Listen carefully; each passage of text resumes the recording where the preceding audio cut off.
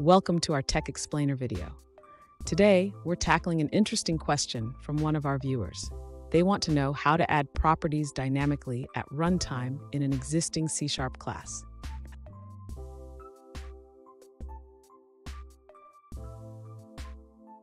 To give you some context, our viewer has a user interface where they can input values into a table called fields.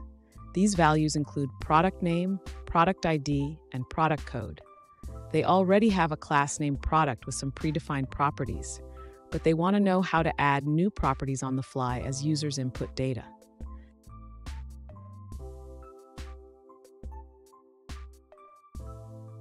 So, how can we achieve this dynamic addition of properties in the product class? Let's explore the methods and techniques that can help our viewer implement this functionality effectively.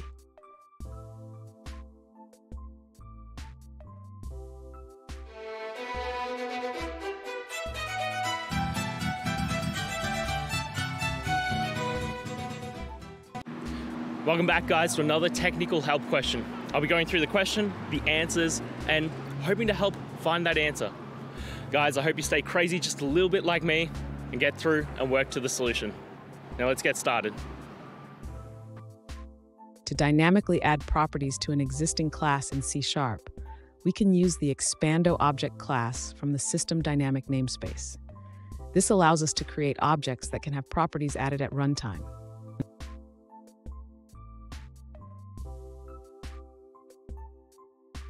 Next, we will create an instance of the Expando object and then add properties based on user input. For example, we can add product name, product ID, and product code as properties.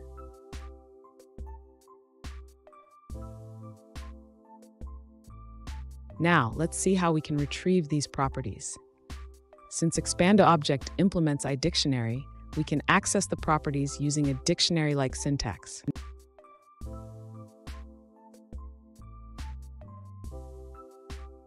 Finally, remember that while Expando Object is flexible, it may not be suitable for all scenarios, especially if you need strong typing. Consider your application's requirements before choosing this approach.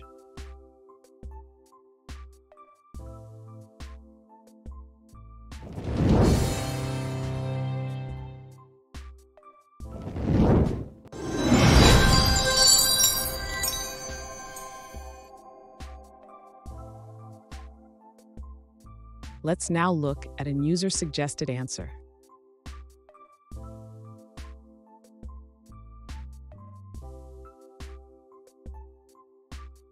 You can dynamically add properties to an existing class in C Sharp at runtime using systemreflection.emit. This allows you to create new types and even save them as compiled DLLs. However, deploying these changes to production can be complex.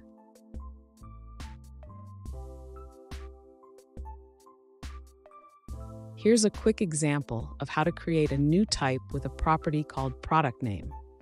You define the type, add constructors, and set or get property values dynamically.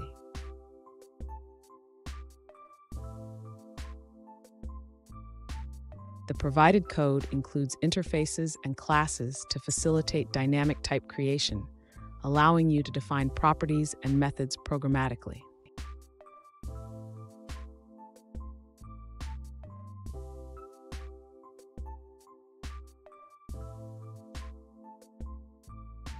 Let's now look at another user-suggested answer.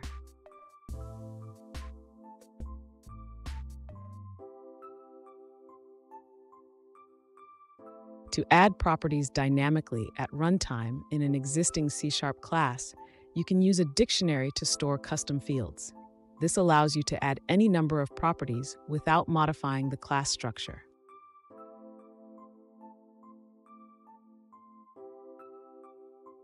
Here's how you can implement it. First, define your class with a dictionary for fields. Then, create an instance of the class and add custom fields as needed.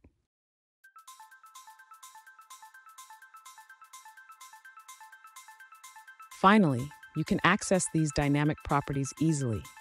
For example, you can display the values of your custom fields using message boxes.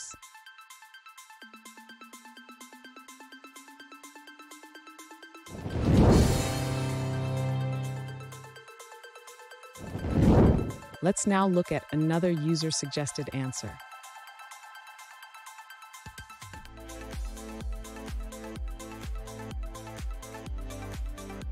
To add properties dynamically at runtime in C Sharp, first clarify your needs.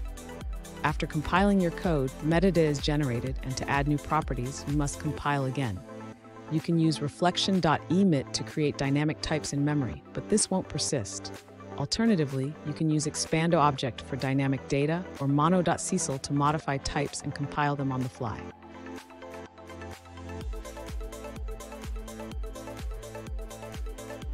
If you're using Visual Studio, consider the Edit and Continue feature, which lets you modify your running assembly and update metadata on the fly. This can be a simpler solution for adding new properties without extensive changes.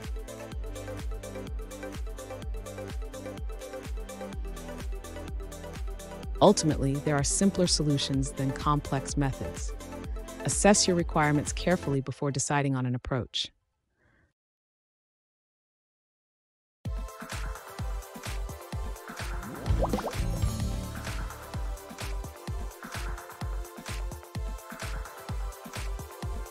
Let's now look at another user-suggested answer.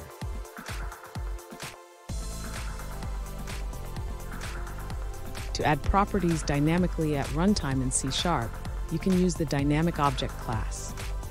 This allows you to create objects that can have properties added on the fly.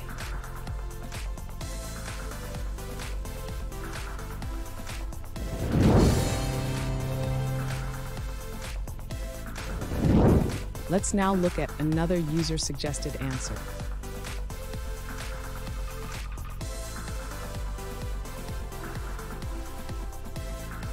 Add properties dynamically at runtime in an existing C-sharp class, first define a property that can hold dynamic data.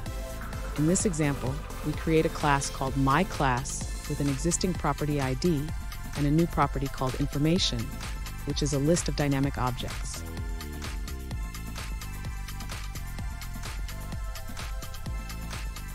Next, create an instance of myClass.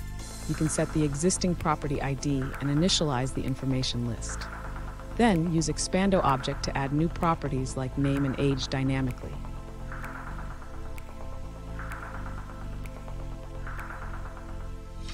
Finally, add a new Expando object to the information list and assign values to the new properties. This allows you to handle dynamic properties easily.